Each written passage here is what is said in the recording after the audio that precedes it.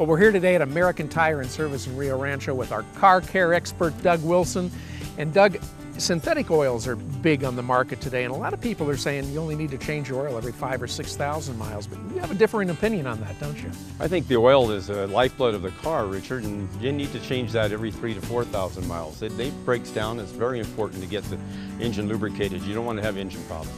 So synthetic or not, 3,000 miles is the magic number. That's the recommended number, yes. When changing the oil, it's very important to change the oil filter. The oil filter keeps dirt and particles away from the critical components. Thanks, Doug. And remember to check your owner's manual for the specifications of your car. And when your car is ready for service, the place to come, American Tire, Route 528 in Rio Rancho.